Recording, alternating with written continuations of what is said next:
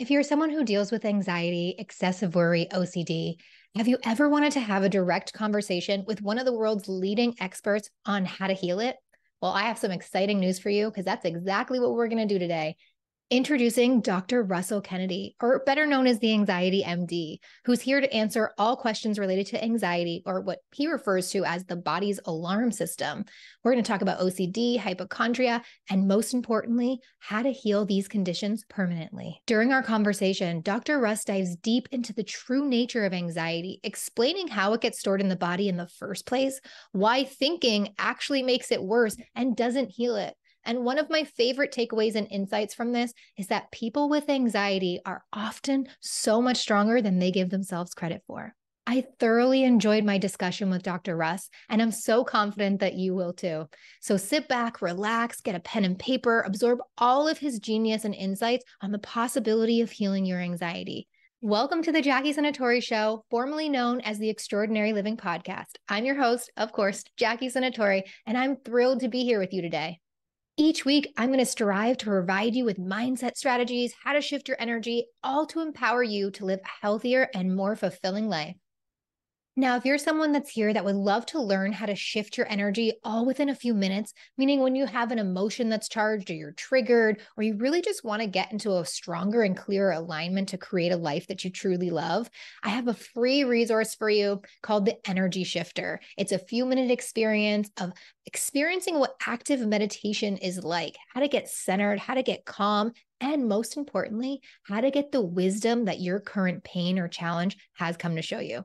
So if that sounds good to you, it's a free resource. Just go to jackiesenatore.com forward slash energy shifter and then take advantage of this free resource. And let's jump into today's episode.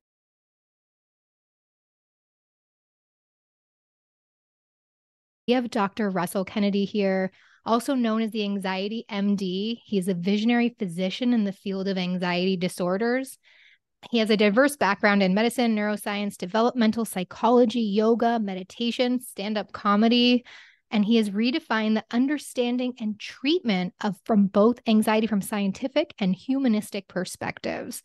Much of his work is based on overcoming his lifelong battle with chronic crippling worrying, creating the award winning and best selling book, Anxiety RX. He also has the Anxiety RX podcast, and more recently, the MBRX, which is a self study course that I highly recommend to anybody that is experiencing anxiety themselves or wants to learn more about somebody that they love going through anxiety. So it's a step by step program designed to permanently heal anxiety. Dr. Kennedy is empowering individuals from all over the world to overcome anxiety and embrace a life of calm and fulfillment. There is not a better guest that I can be excited about interviewing. Anxiety is something that has driven me my whole life. And I'm just so honored and humbled and excited that you're here today to join. Thanks, Jackie. I think that was probably the best introduction anyone's ever given me. So uh, I should just record that. yes. I, I shared with you before we press record here that this is probably the most personal one that I've ever done. It's the most meaningful one to me. If there was one magic wand I had in the world to heal one thing, it would probably be this topic. So, sure. for anyone who's listening to this, if you have anxiety, you're in probably the best company. And thank you for sharing what you're going to share today. You're welcome, Jackie. Just to quickly, so if someone is listening to this that doesn't know you so much, sure. my my objective is definitely going to be to help as much as we can. How did you come to be the anxiety expert? I grew up with a parent, uh, a father with schizophrenia and bipolar. So I grew up in a lot of chaos. And my father was never abusive or violent, but he was psychotic. So he definitely lost touch with reality. He would get deeply depressed. He would get manic, where he'd stay up for four days and play the trumpet. And that was chaotic for a child. And so what happened with me is that I, I loved my dad so much, but I, I couldn't trust the love that I had for him because I didn't know if it was going to get um, pulled away from me at any moment by like psychosis.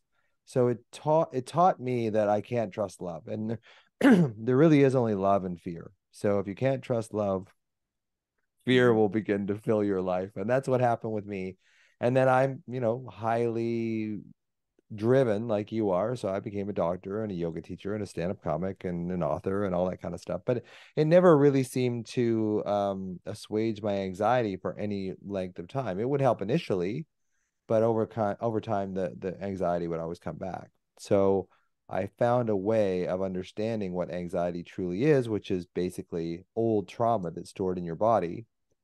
And that's how you heal it. You heal it by going into the body, not so much the mind. And, and I feel like most traditional therapies try and change your mind, but it's kind of like, you know, don't think of a purple elephant. Well, you can't not, you know, you can't, it's just like, you can't stop worry by trying to worry less, like consciously. It just doesn't work. It just mm. gives you more anxiety.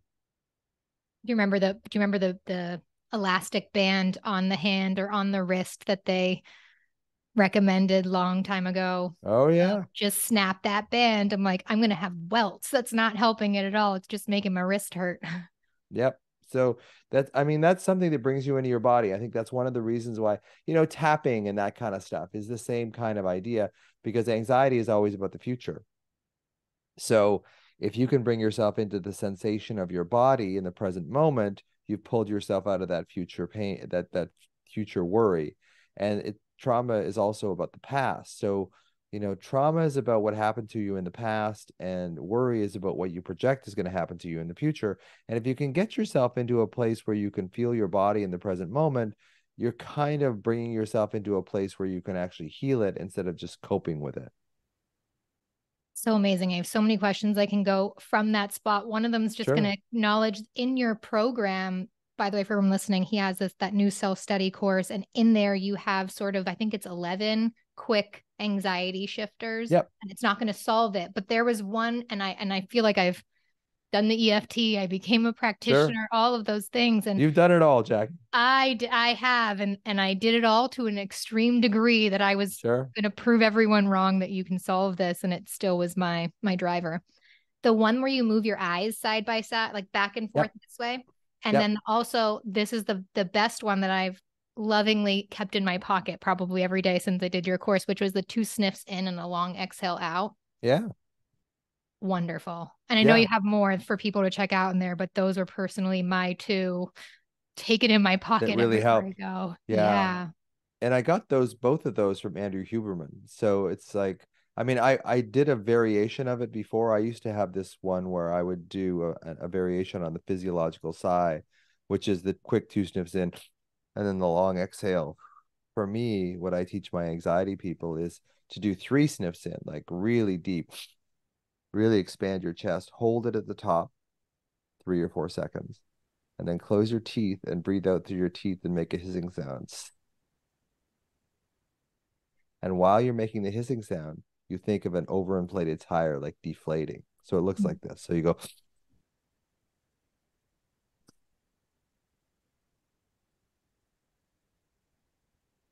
And just try and elongate that exhale as long as you can. And I can't do this too many times or I'll start zoning myself out. But that it really does help. So the physiological sigh is a quick one, but the longer one I find is more effective for people that really struggle with anxiety. Yeah, it it has really worked. I know that you want to do that. What does he call it? Yoga Nidra. Yoga Nidra meditation. is the meditation. Yeah. So basically what I I believe is that anxiety really comes from a split from your adult self to your child self and from right. your mind and your body. So your child self holds your trauma, right? So it holds the body keeps the score. Bessel van der Kolk was right in his book. The body keeps the score any traumas that weren't resolved by an attuned attached caregiver when you were younger go drop down from your conscious mind into your unconscious mind and because the body is a representation of the unconscious mind eventually that trauma will show up in your body now we can use that part of your body when you feel a certain when you feel anxiety to find that part in your body so for me it's in my solar plexus some people it's in their heart some people it's in their throat and just put your hand over it and just connect with that because I do believe that that focus of alarm in your body is your younger self, is your scared child. So the adult in us doesn't want to go back to the child because the child holds all our pain. Okay. And the pain doesn't trust the adult because we've abandoned them for so long. A lot of us don't even know the child is there. And then this disconnect occurs, and then it just creates more alarm in our system and just to go further with this, I think what happens when we're younger, we get an alarm that's too much for us to bear. Trauma like divorce the parent, you know, abuse, sexual, emotional, physical abuse, that kind of stuff. And it gets stored in our body. And then that becomes a, a focus of our anxiety for the rest of our lives. So, unless we heal the root cause of that anxiety in our body, that alarm in our body, we're always going to have the anxiety of the mind. The anxiety of the mind is really just a byproduct of this alarm that's been stored in our body. So, if we fix the thoughts, it'll work temporarily. And this is true with like CBT and talk therapy. You know, fixing your thinking does help initially but your overprotective ego always tends to drag you back to what's familiar. And what was familiar in your childhood, you'll unconsciously replicate in your adulthood. So for me, it was chaos. So I replicated chaos in my early relationships, and uh, which created a tremendous amount of anxiety. So it's finding the root cause in your body and treating that as well as treating your thoughts. I'm not against CBT or cognitive therapy. I just think that without adding the body component to it, you're gonna you're gonna cope but you're not gonna heal and there's so many people listening that can say that they they know they've had trauma and then yeah. so many people can say like no i didn't have any trauma but trauma from what from what i see for myself and, and a lot of other people it's really how you experience it so there could be yeah. a car accident and one person think that's nothing but another person can feel terrified and just lock it in differently yeah, and typically the person that is terrified and locks it in differently had some trauma when they're younger. Same with combat PTSD. So if you take 20 uh, soldiers in a firefight, five of them that show up with uh, combat PTSD are the most likely to have had trauma in their childhood. So a lot of people will say, I wasn't anxious until my car accident. I wasn't anxious until my divorce. But really, in the background, they kind of were. And that was just the, the triggering event that kind of opened it up. So you know, most of this stuff, most of our brain development occurs, 80% of our brain development occurs before the age of five. So if we have attuned detached parents before the age of five, it's really creating a lot of capacity and resilience in our nervous system for the rest of our lives. But if we don't, which is, I believe, most of us, right? No shame in hearing that. Especially these days, yeah. If we don't have that attuned detached parent that we could kind of metabolize our trauma at the time, it winds up getting you know going into your unconscious getting stored in your body and then it it sort of triggers that anxiety reaction in your mind for the rest of your life until you realize that oh this is my younger self. Not that everything is trauma and everything is oh my god you have to fix your inner child find your inner child you know but a lot of it is. I mean i did therapy for 35 years every type of therapy and nothing seemed to really work until i i you know got into somatic therapy i got into internal family systems i found the younger version of myself and a bunch of them like there's a bunch of children inside of me and it's showing them how that they're seen heard loved and protected now in a way that they weren't back then and that's how you heal from anxiety eating disorders depression ocd uh, personality disorders all this kind of stuff. It's all it all comes from basically unresolved childhood wounding 98% of it. Do you think like somebody's listening to that? One of the questions is why is there so much shame that comes with anxiety? I think ever a commonality between myself and everybody that I work with that has it it's one of those things that's not that comes with a lot of shame that you have yeah. it that that you don't want people to know that it's not good when somebody has it um but do you think that there's just like like a buildup of different traumas you said that you have many different parts of yourself so I'm yeah guessing you can heal many different big yeah. traumas, little traumas. And when you start healing one, the others start falling like dominoes. That's the thing. When you start getting the real root cause and healing the real root cause, which is this alarm, which is this younger version of you, the other traumas just start falling like dominoes because they all shame is one of the shame is one of the glues that glues all our traumatized kids together. So I have a bullied part of me when I was, you know, at different points in school. I was bullied. Um, there's different parts of me my dad being sick that kind of thing. Um, all these things kind of amalgamate you know into your system. And it also depends on how sensitive of a child you are. Most people that i see with anxiety disorders were born sensitive. And i believe sensitivity and and your temperament is kind of genetic. I think we do have this kind of you know a lot of people that i see or parents they say one kid who's very sensitive and the other kid is like whatever you know and that's very true in my family for sure. Uh, most of my family, extended family, they have um, one one of us who's one kid who's quite sensitive, and the other kid's kind of like happy go lucky, like whatever. Like one of my uh, one of my cousins in Scotland, uh, she became like a, a lawyer, then she became a doctor, uh, and she did all these things. Like she was amazing, and she's very high strung. She's much like me. And then her brother Colin is very. He's a skateboarder for Nike. Like he's just like whatever, man. You know, yep. it's really funny to see in the same family like two kids who are so different in sensitivity. One of my favorite quotes um from Demartini. He says, "If two of you are the same, one's not necessary."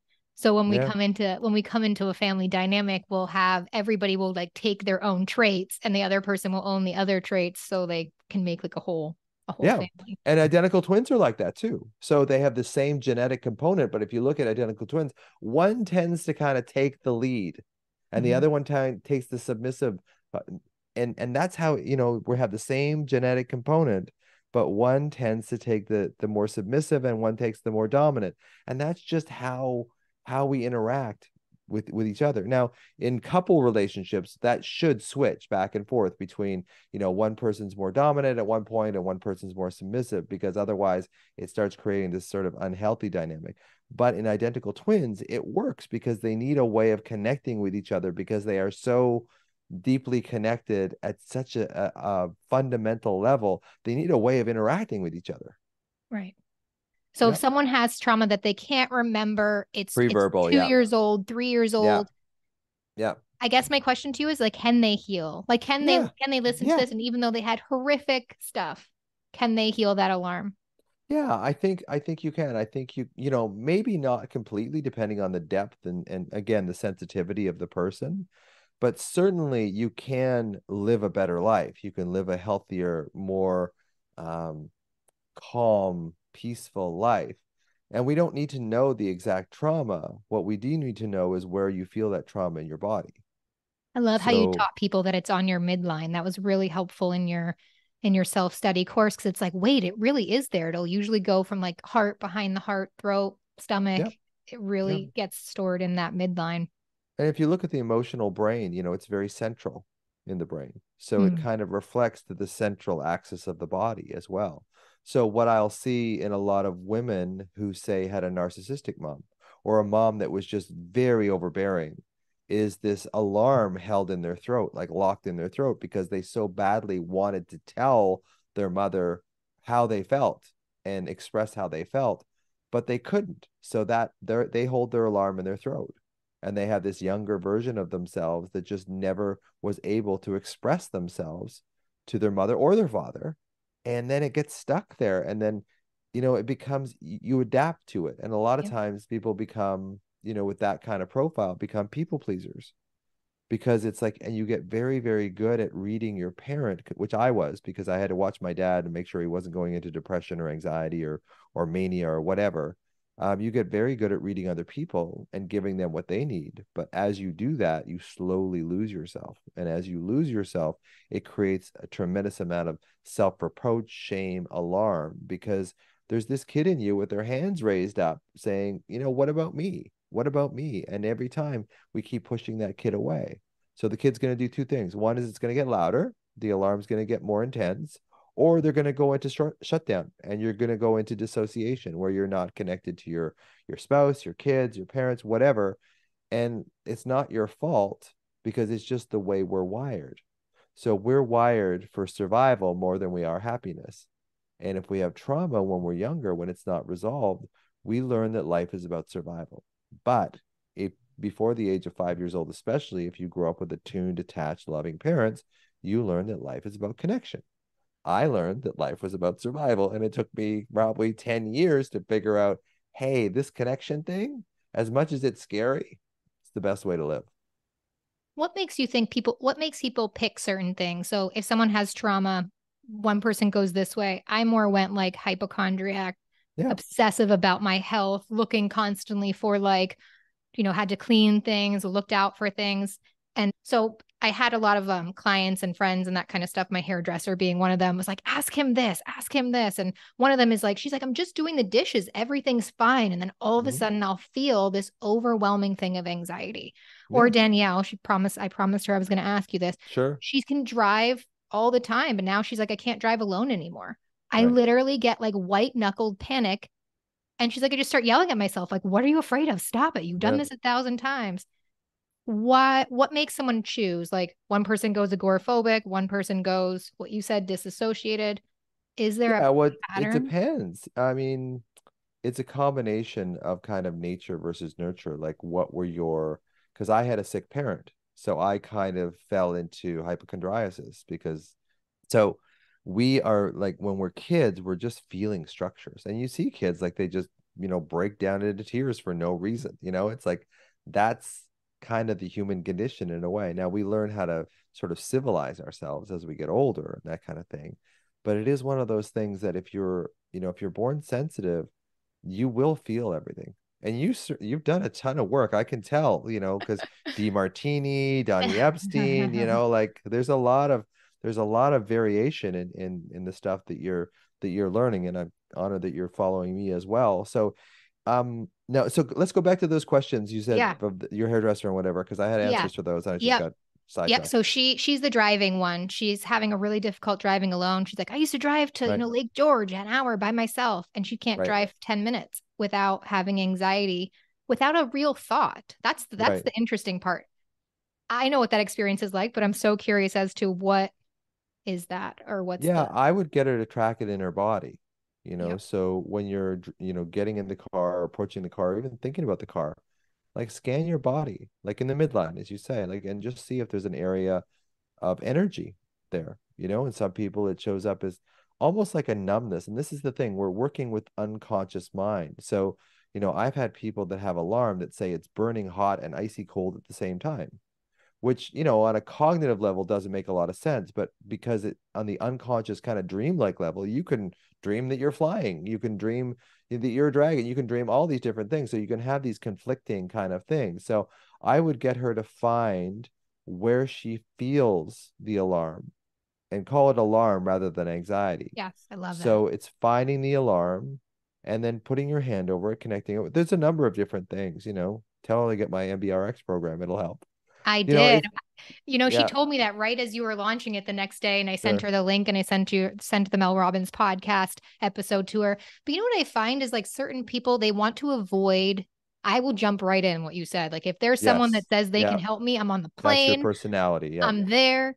But it's also like even I told you prepping for this. It's like, ooh, when you start going near something that's uncomfortable, you start Sure. sweating. And a lot of people avoid wanting to do what you just said, which is just go into it, feel it. Yes, and they're like, no, totally. no, I, I don't.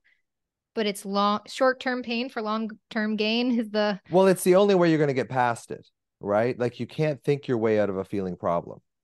yes. And a lot of people do. And that's the problem is that in in this society, we're kind of taught, okay, I'll go to therapy, I'll talk about my issues and stuff, which does help in the short term. But I was talking to my wife, Cynthia, like a couple of weeks ago, and um, she's also a somatic trauma therapist. So so she was noticing that the cognitive techniques seem to work initially and they help initially, but they don't seem to stick. And I think our, our overprotective ego that that believes that that hypervigilance and worry is keeping us safe stops that. But also, she says the somatic piece, like going into the body, staying with it, maybe having somebody with you, like maybe your friend who's afraid to drive needs somebody, um, not necessarily in the in the passenger seat, but with their in, in the living room, just like talking about it, connecting with their connecting with someone else, feeling safe with that connection. And then that safety translates into being able to go outside of your comfort zone kind of What's thing. in, what's interesting is she said if someone's in the car with her, she just doesn't have it. And then when she was driving to work, she's like, the thought that I knew you were going to be there, I didn't have it. So it was Right. something around like that being alone or what I'm gathering is more just like where's her safety person? It's not herself. Yeah, and sometimes it's just it's a just like when situation too. So I've had people who are afraid to drive uh, because when they were younger, they got into a car accident, or when they were younger, every time they got in the car, their father would yell at them. So there is this operantly conditioned, this sort of conditioned stimulus in you. And then if your life gets stressful, these things start to bubble up to the surface. You know, so it's important to understand that that we have to practice this. We can't just expect, okay, I'm going to get in the car and do some deep breaths or whatever. You got to practice this. And and I say this quite a bit. It's like I said, okay, Jackie, I'm going to take you to the basketball court in three months. And if you can make three out of 10 foul shots, I will give you $20 million. Are you going to start practicing foul shots the day before? No, you're going to every freaking day, you're going to be out there. Right. It's the same thing with anxiety. You have to practice going into that alarm, breathing through it. You know, it's it's hard to tell in, in a podcast, but it's basically acclimatizing because Bessel van der Kolk in The Body Keeps the Score says this. It's like we're not teaching people how to get rid of their anxiety. We're teaching them how to feel it and and be okay with it. Because what happens is that we feel it and then we go up into our heads and try and think our way out of a feeling problem which is a never ending like you're just never your thoughts are never going to solve the problem. So but your your mind will tell you that it does. So you get trapped in your head and you work through your head over and over and over and there's no solution to it. But by the same token when you go into your head you do escape that pain in your body. So worry does serve a purpose for sure but it's just like you're always delaying your healing because to heal from anxiety you pretty much have to go into that feeling. Now having someone with have a somatic therapist or someone who's who's good at ifs or you know this is what the psychedelics often do too is they they they get people to kind of see their their wholeness and their trueness and their realness. But i'm not you know psychedelics are kind of like hitting an ant with a sledgehammer right? It's like it's a it's a pretty big deal. And usually when people ask me about you know because I did psychedelics and it was it was you know it took me 2 years to get back to normal after that. It's like do IFS or do somatic experiencing for a year and then if you still feel like you need the psychedelics then you can you know try that. Now microdosing psilocybin might be an answer because it's relatively mild and that kind of thing, but still it can still be pretty traumatizing for people because the thing about psychedelics is that they take away all your defense mechanisms and you experience your trauma full force. Now there's a theory that says that once you experience your trauma full force and you you've done it, that it eases off. And in some people, that's true, but in some people, it actually makes it worse. So you know, you really the psychedelics, ketamine, all that kind of stuff, um, they're not a panacea, for sure. They're they're a tool that I think will be used more and more over the next, you know, 5, 10, 15, 20 years, but they're not a panacea. They're not a, a get out of jail free card by any means at all you know i love in your in your course where you had those two arrows of like thinking is just going to make the alarm louder. Right. So in the past several weeks since i've been catching it of that's right i want to think my way out of this. Yeah. and when i say you're not allowed to think what you said there really grips on. It's like no but this is our habit. This is our pattern. You're not allowed not to think about it I so know I'm, because there's a security in that hypervigilance. Like there's a, a familiarity in that worry. When you were a child, that's all you had was worry. That's all you had was to go into your head when you were a powerless child. But you're not a powerless child anymore. So it's like you don't have to compulsively be hypervigilant and go into worry anymore because you have other skills that perhaps your brain doesn't like make you aware of. But that's what I'm. That's my job. That's what I'm here for. Yes, I cut my. I sliced my finger and had to go get it stitched up, and I was like really calm because I, I can do all the things that you say and breathing and all that. Right. And then I got anxious because I was so overly calm. Right. Like, why are you so calm? There's blood everywhere. Maybe something's wrong that you're not. And so I could hear it wanting yeah. to come up. And I'm like, it's a finger, like relax. Yeah. But the relaxed and the calm, you know, some people say that they get, and I you talked about this too, is like they get anxiety just when they're relaxed. Yes. Like if you get a massage, yeah. it'll give you a panic attack because your body's totally. like, I don't do that well it wasn't safe for me like my perception as a child and this is true for so many people. There was always this period of calm where my dad was fine and then he would go psychotic again. So what i was conditioned to think over the course of time more unconsciously than consciously was calmness is always uh, uh is always crushed by some sort of pain so what the child will do is they'll go, I'm going to keep myself vigilant because I know this pain is coming. So that's when it's that's chapter 62 in the book is like when it's not safe to feel safe. And this is one of the things that that really blocks your healing because as you start to feel, you know, as you know, you work through the program and you work through the book and you start feeling safer and calmer, if being safe and calm as a child was a trigger, it's this catch 22 that okay i've got to so you you just basically have to teach yourself that yes it's okay to feel okay it's okay to feel calm I know it's I know it's going to bring up my alarm. And then slowly over the course of time, it's kind of like this two steps forward, one step back thing where you start trusting peace and trusting calm. But it doesn't happen immediately. Like right. it's a it's and a lot of people will quit because you know their overprotective ego that taught them that I have to worry, I have to be hyper vigilant, I have to be obsessive goes into high alarm when we think I'm not, I don't have to do this anymore. Because the reason you developed the compulsions in the first place is because it gave you this sense of safety. So in a way, but it's it's actually just making you worse instead of better. So it's kind of teaching you that the, the habit that you learned is not helping you, it's making you worse. You know, you can kind of treat it like, okay, OCD, I know you're there to help me. I know you're trying to protect me you know but we're going to just practice feeling safe for a little while. And that's what i mean about the foul shots is like practice this stuff over and over and over again so that when you do get into a stressful time you have some resilience and capacity in your nervous system to draw on so that you can allow yourself to feel safe. I'm thinking of this of this time flying when it's like i used to fly so much and i'm like if the anxiety's not there that's a bad thing and so it's like almost like creating it because it's like, oh, wait, something might happen if you are calm, but if you are worried, you're going to catch it. And it's such a silly, a silly thing to look for because it's yeah. like, well, what happens if I just become calm? Then I'm not going to be prepared for. Well, that's, know, and Brene Brown talks about that too. yeah. She says, no matter how many times you practice that call from the school saying your kid's been hurt or whatever, it, do- it doesn't help you. Like, yeah. but but the mind will tell you that it does and it's like the story that i tell in the book of, about ulysses and the sirens when you know siren island the, the sailors would drive you know i was going to say drive uh, uh, sail by the island and there was these beautiful women who would sing and you know and and the sailors would steer their ship onto the rocks going to these beautiful women and then they would turn into monsters and kill them. And it's basically those are your thoughts. Like those are the anxious thoughts is that you know you have to just keep sailing by the anxious thoughts. But it's so seductive. Like those sirens those thoughts are so seductive that if we're not consciously prepared we will automatically just you know drive our boat onto the shore and or you know get killed.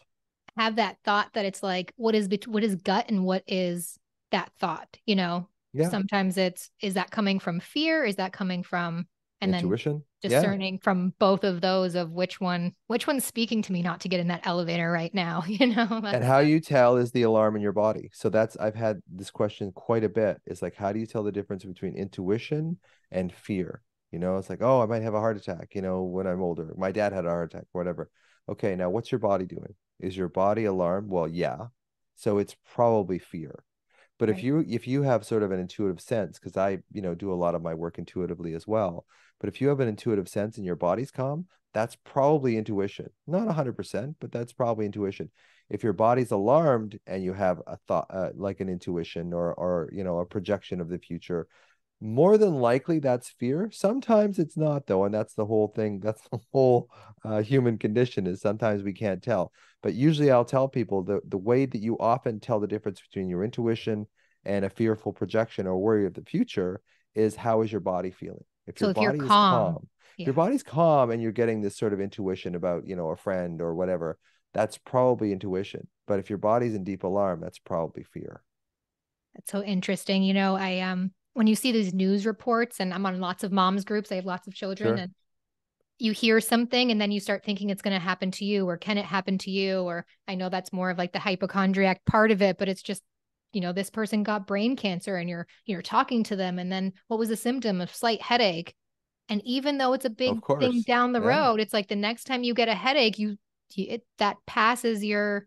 passes your thought and i call it almost like dialing it down of bringing myself back into the present but is that just our brain being old and wanting to try and keep us alive of yeah, why i mean we have stone age brains in a digital world too and here's the thing the other thing about worry is that worry makes the uncertain a little more certain.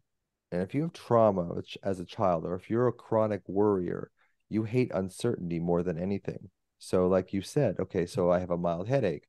Well, maybe that's a brain tumor. Now, in your, you know, um, your dopamine system in your brain, that makes sense. That kind of adds up. It's like, okay, well, this person had it. I could have it. So it makes sense. So you get this dopamine hit from worry that it makes sense. You're on the right track, essentially. But that worry is horrible. So a few seconds later, you think, yes, but now I have cancer.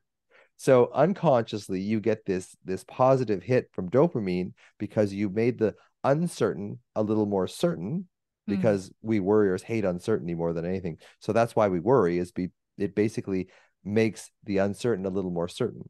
Mm. But when we believe the worry, it just cycles on itself, which is the definition of addiction, which is why worry is addictive because it, it gives us a short-term hit of pleasure because we feel like we've made sense of something, even though it's a worry. But long term, it's like it's horrible. So, you know, it, so you have to keep worrying to kind of keep getting that hit of being safe but what your worry is is is health and if you have health anxiety you know exactly what i'm talking about. This is exactly what it is. There's almost a part of us that wants to have something wrong so that it makes sense so it's a dopamine hit of why we do that yeah, almost like because it, it of... makes the uncertain a little more certain and because you know as traumatized or, or worried kids we hate uncertainty more than anything else that's why we worry people say worry does nothing. Worry actually does quite a bit. It keeps you out of the alarm in your body, for one, keeps you up in your mm, head, distracted. and it makes the uncertain a little more certain. So it's no wonder we get sucked into worry. You talked about that Instagram thing that you had and how it brought up like that uncertainty for you. Oh, what being you... banned? Yeah. I get it. I totally get that as someone who's yeah. high achieving. I totally yeah, get when sure. the when the floor falls on, out from your your feet. What do you do when things really become uncertain. So for the someone listening that yeah. really did have something, I got Lyme disease in 2016.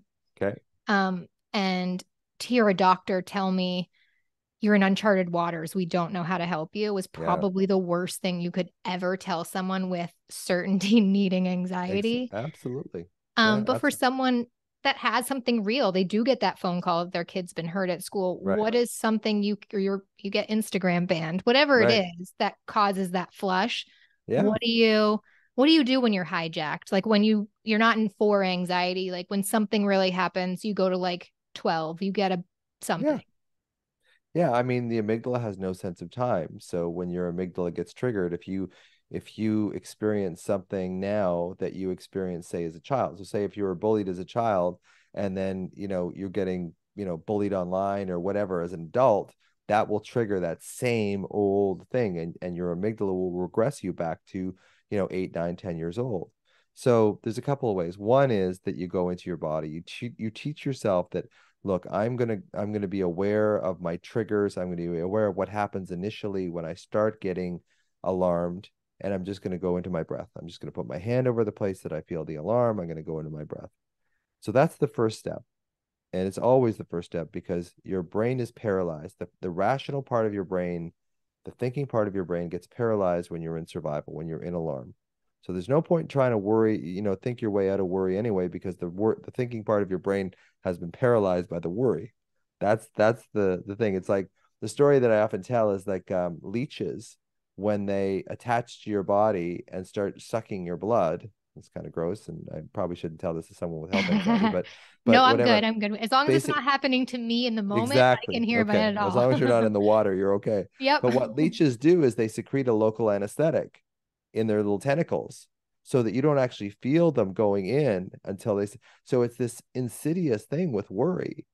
So what you need to do is go into your body first, regain that prefrontal cortex that allows you to think clearly, and then you know when you're thinking clearly like faith is like the biggest you know it's the biggest antidote. Someone t- uh, texted me last night their their boyfriend has been diagnosed with a brain tumor. It's like what am i going to do? My anxiety is through the roof. It's like well this is the thing that you have to have faith with. You have to have faith that things are going to turn out okay. And then like you said you can point to the person who had the headache and the brain tumor right but it's really developing this sense of faith and faith is a skill just like self-compassion is a skill and it doesn't necessarily have to be religious faith You know, one of the things that people with anxiety do is they overestimate threat and underestimate their ability to deal with it.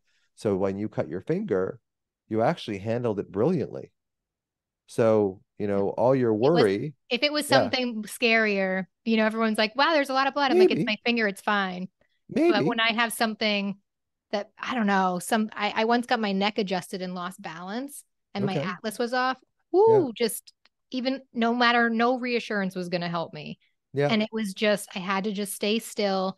But it really, when I really dig deep into it with a lot of different like modalities and thoughts and meditation, it all comes down to death. You just have to surrender to like if I die and I'm still okay. So it comes yeah. down to well that's faith that's really yeah. faith jackie i mean that's what it comes down to is like you know in in indian um kind of folklore uh yama the god yama is a joker and he's the god of death. Hmm. he's a big joke right? So we get all you know hyped up about this and and all anxiety is separation anxiety. All anxiety is based in separation of some kind. You know and gordon neufeld taught me that. And then i add on uh, and it's basically separation from yourself. So when you get a trauma when you're younger uh, you can't blame your parents because you know often sometimes they're actually the cause like was with me they were the cause of my trauma.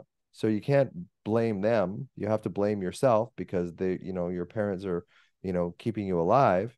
So you blame yourself and you start creating these what i call jabs which you probably read about in my in my book. So you start judging abandoning blaming and shaming yourself jabs.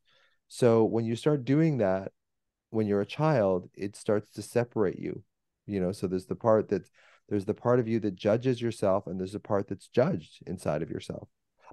I don't like the part of me that you know has a facial tic you know i don't like the part of me that uh, laughs you know uncontrollably uh, when i'm nervous. You know i'm not saying i have that. I'm just saying that this these are things people have told me. And it's like when you start blaming yourself like that you you'll never get out of it. Like it's mm. it's just it forms this victim mentality. And it, one probably the biggest factor in people that don't heal from anxiety is this victim mentality. Because you feel like you're a victim, you you don't have any agency and you need agency in the world. You know, you're an adult now. You need agency in the world to heal.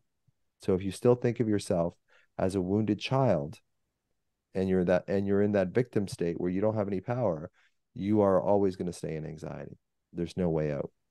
I love what you said about you over you underestimate how strong yeah. you are and you overestimate like what's happening which is remarkable you know i i often tell people anxiety people with anxiety are usually the strongest people yeah and they might be scared but it's like wow how did you handle that if it's anybody yeah. else i am your go-to like if you want yeah. something to happen it's me sure. it's me that you want it to happen around and sure. i often laugh I'm like you've had to pick me to have that experience but I'm calm in that sense. If if it turns towards me, I can I turn five really quick. like I don't. Yeah, but but yeah. but you make it through though, Jackie. That's the thing. Yep. Like like I think that we believe that if something bad's going to happen, that we're just going to collapse, and often that's not the case. You know, often we believe we're going to collapse, but it doesn't actually occur. And I think that's what I mean about you know we we yeah. overestimate threat and we underestimate our ability to handle it because when it does happen, you know, I remember when I used to work emergency as a doctor you know, I'd have some fairly significant things come in and I would just go completely like zen, like, and I would just watch myself do all the things that I'm supposed to do. Um, you know, and then I, I I'd get off shift and it'd be like, how the hell did you handle that? Like that was pretty intense. So I think that we have this strength in us. And one of the things that I talk about, I think in the book too, I mentioned it, is like we have to, we anxious people have to raise our kids, go to school, you know, go get groceries, drive our cars, do what everyone else does but we have to do it with 100 pounds of fear on our back. So after a while, you know, you get pretty strong. But the funny, the ironic part of that is that we don't believe we're strong. I hope whoever's re- listening to this right now really like takes that part in because that's the that's the hugest thing of you can have anxiety and it doesn't mean you're weak. In yeah. fact, it's it's really really strong. There's people that can't handle level 2 anxiety that criticize people that have anxiety yeah. until until they experience it themselves and then they'll never put someone down That's with and anxiety. I hear that all the time. Again. I hear that all the time. People contact me it's like I you know, I never had anxiety. I never knew how people felt and then now it's like I have it. It's like holy smoke. Some people in their 70s, you know, it's like they, they'll contact me. It's like I've never had anxiety before, but what you describe is exactly how I'm feeling. And I can almost track back you know, to when they were six years old and they're 70 now, you know, and they were in a movie theater and they, you know, someone exposed themselves to the, uh, you know, there's, there's, I mean, there's always trauma and there's always, you know, you can always point fingers at things and it may not actually be the underlying cause. But if you talk to people about their trauma, uh, and they feel it in their body, like they really feel it, it's like, well, chances are you're on the right track. One of the things that I, I messaged you after in this part of your course was for parents listening to their child, what I took away from it was all my kids need when they experience something, what we would call trauma or something bad, is that they just need to feel protected, supported, and loved. And now yeah. it's like not preventing them from getting bumped and knocked in life. It's just, this is what I can do. Like, what yeah. I can do is hopefully let you store less of an alarm than you would if I didn't. Yeah, and it's good that our kids get alarmed. It's good that they they experience some traumas and that kind of stuff and then we show them that they can work through them. You know, that's the thing is it's not it's not the absence of trauma, it's just having trauma and then having a supportive figure like a parent who helps you metabolize it. So you learn in the back of your mind, "Oh yeah, things can go to shit." but I can I mean I'm kids okay. wouldn't say that, but but but I'm still okay. And yes. you know, I used to play this game with Leandra. Leandra, you know, my daughter, and uh, I was in med school. She's about four, and she would come into the room and yell out "Sea Monster," and I would, being the aforementioned sea monster, jump up and chase her around the house, like like, and really scare the crap out of her. You know, I really enjoyed it because I was in the middle of studying, and she's like, ah, you know, I'm like, so I would really scare her. But within about five minutes, I would pull her back onto the couch or whatever, and we'd have a nice cuddle, and I would, you know, allow her parasympathetic, her rest and digest nervous system to come back up and I didn't know it back then, but what I was doing was I was teaching her, look, you can go in a high fight or flight, really high fight or flight. And then within five minutes, you can be right back down into relaxation again, which is something that if your trauma wasn't metabolized when you were younger by a, by a caring parent or, or authority figure or whatever, you don't learn that. So you go up into trauma, you go up into sympathetic, you go up into fight or flight, and you come down, but you come down really slowly. And then as you're coming down, if you get another fright, you'll go right back up to the mm-hmm. same like 100% again. So it's really important to teach our kids that they can get into fight or flight, but we can return them back into a parasympathetic rest and digest state as well very quickly because that teaches their nervous system that yes, life is has traumas in it, but it's not the end of the world. Now, when you're a child and you have trauma and you don't have a parent and you don't have anyone to talk to, you don't have anyone to tell, that trauma never shuts off. So you're always just kind of treading water with it. And that's the one that you would do your steps of going yes, back in that absolutely in that thing and finding where it is. I have to tell people it's like waves, you know, waves are just going to come. It's not about stopping the waves. It's just getting Slowly. really good at what you said is here's this big thing. And I think from and you, you know, and you know that thing, you know, it's going to go like that. There's something in, in neuroscience called the recency bias, which is basically how, how we feel now our brains project that we're going to feel this forever. So if we're anxious, we're going to project that we feel this forever. We're yes. depressed, we're going to, and it's not accurate because it's not true. But in our minds, it certainly seems that way. So when we're in anxiety, it feels like this is how I'm going to feel through this. And depression, this is where suicide comes from, is because people feel like there's no way I'm ever getting out of this, which is not true. It's basically just a trick of your mind and the recency bias, but it can be pretty intense. Is that the same wavelength? Does it come from the same thing? People for depression, the same kind of hidden I, alarm I think, and hidden trauma. Well, I think yeah, as you were saying earlier, like why does some people show up with hypochondriasis and other people show up with like OCD or something like that? You know, so it's it's hard to tell why people go down a certain pathway, but the root cause is almost always the same. The root mm-hmm. cause is something happened to you when you were younger that you either kept to yourself because it was really shameful or you could or you didn't have a supportive um, caregiver to talk to and metabolize.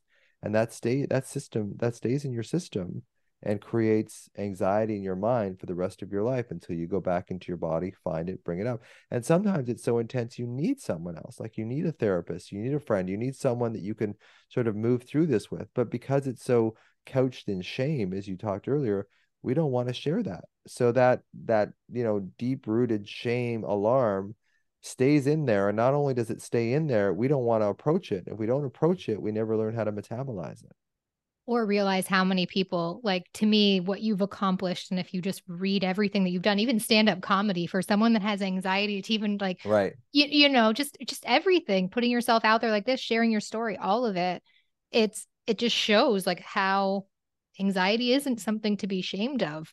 Do you think everybody has it in some capacity? I think everyone has trauma to some extent, and whether or not your parents uh, metabolize it for you or not, I think that makes a big. deal. I think childhood is traumatic for everyone. It's just if you have, have uh, parents that that uh, can help you metabolize. But the curious thing you said earlier on is like my anxiety over going on stage before I open the curtain to do stand up is different than my chronic anxiety. Yes, me too. So it's yeah, so it's you know it is it's a it's a qualitatively different sense. It's in a different place in my body. It's a very different sense, and it seems um, surmountable.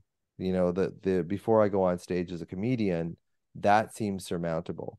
Um, and, and it's been practiced and that kind of stuff too. But the other anxiety, uh, it's fine now. But you know, five or ten years ago when it was really bad, um, it seemed completely uh, insurmountable. Like it seemed like there's no way. But there was a difference between because I could be horribly anxious during the day, and I used I tell this story uh, before. I was like I'd wake up at like seven or eight in the morning, knowing I had a, a shift in the clinic that day as a doctor, petrified, saying there's no way that I can do stand up tonight. Like there's no, I'm just way too anxious. And then by the time eight or nine comes around, it's like, no, I'm looking forward to it. You're strong so again. yes. It just, yeah, it just shows you how how mercurial like anxiety is and how much of a lie that it's telling you. But we want to believe it because again, going back to what we were saying earlier, anxiety is a way of of minimizing uncertainty, but it's a way of minimizing uncertainty that comes at a huge cost. Yes keeps you keeps you thin no keeps you well, it does in a way yeah. you know thank you so much is there anything else that you want to share with people listening about anxiety and just even about your course and just how possible it is i, I mean i think I, I would share two things one is when you're freaking out just ask yourself am i safe in this moment i know i'm freaking out about something that might happen in a week a month a year whatever but in this moment that I'm in right now, and this works really well in the middle of the night, in this moment that I'm in right now, am I safe? And I look around, it's like, yeah, you know, it's almost begrudging. It's like, yeah, I'm safe, whatever. You know, it's like, it's really understanding that, am I safe in this moment? The second thing that I would tell people is when you get anxious, or I, I prefer the term alarmed, get out of your head, get into your body. And even though it's uncomfortable, like put your hand over that area that feels uncomfortable, breathe into it smell an essential oil to you know carry that around with you like lavender chamomile something like that because smell is a sense that goes immediately into the emotional part of our brain it isn't pre-processed by any other part of the brain. So it goes right into the the emotional brain. And start going into your body rather than staying in your head because there's no answer in your head. So it's two things. Am i safe in this moment is really important. And then when you're feeling alarmed stay in your body. Don't go into your head because your head is just going to make it worse. You know, and I talk about that in the book, Anxiety RX. I talk about all this stuff in my program, Mind Body uh, Prescription. You know, it's really about practice. You can't just expect your anxiety to go away because you've had your anxiety for 5, 10, 15, 20, sometimes 50 years. So it takes practice. It takes practice, and your ego, and I talk about this in, in the program as well. Your ego is always going to try and sabotage you back to the familiar, which is hypervigilance and worry. So what you have to do is just keep going and keep going, and you will break through. It it does break through.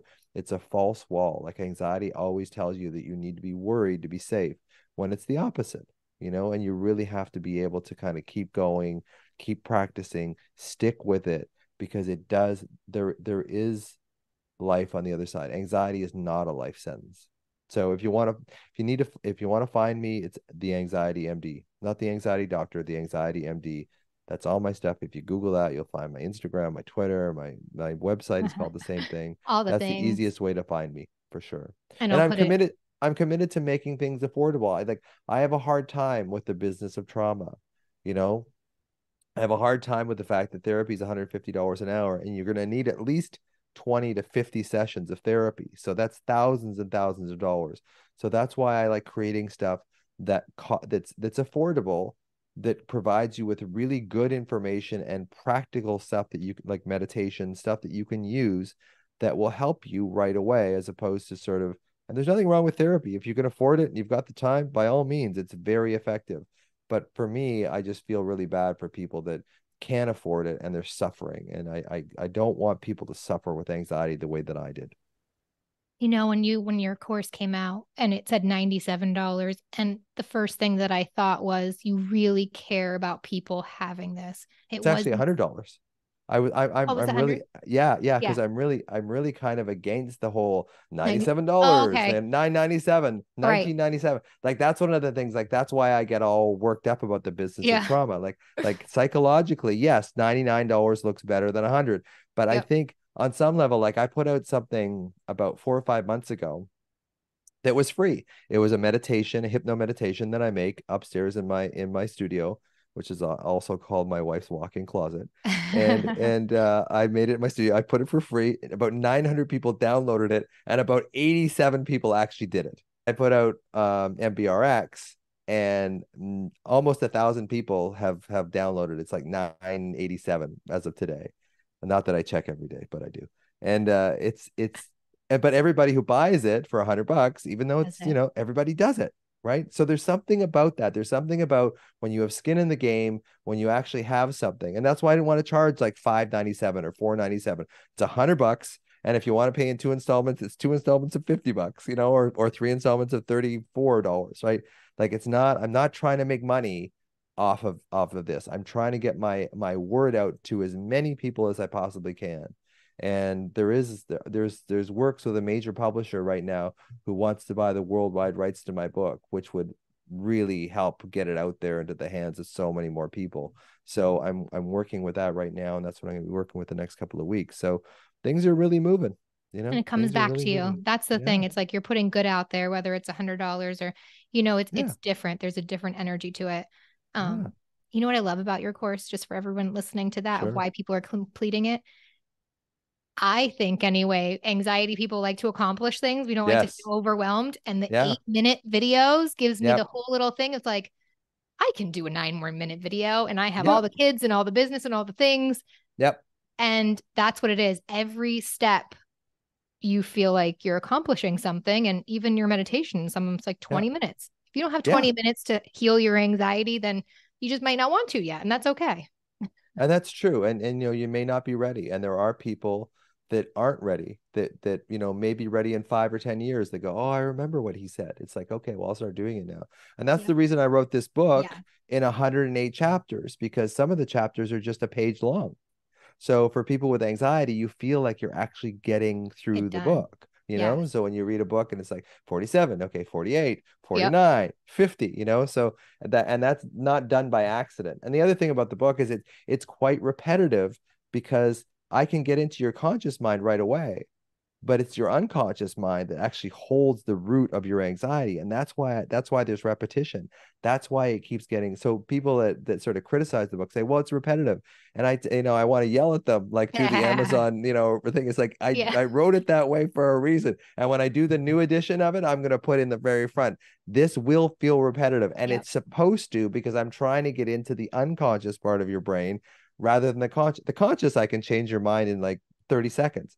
But the unconscious is where most of the anxiety the root of anxiety and alarm is held and that's where we have to fix you know and that's why i say you know the cognitive stuff works immediately but it doesn't last. But the the unconscious stuff takes a while but it actually allows you to like live a better life.